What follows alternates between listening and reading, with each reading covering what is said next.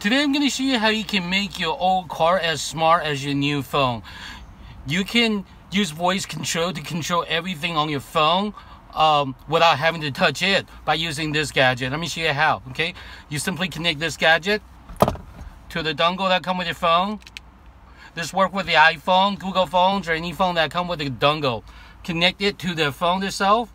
Now we're going to turn on the car. Set the radio to 87.9 you'll hear that there's a lot of static noise. So we're going to activate this, this device by holding it down. You see that the, the static and noise went away? That means the two is connected. So now you able, you'll be able to voice control everything. So we're gonna uh, we're gonna position the phone right here, and just use the voice to control everything. So okay, Google, play music, and you'll hear the music.